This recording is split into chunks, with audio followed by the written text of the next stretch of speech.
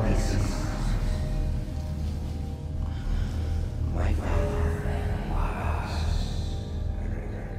a fiend. Why so silly?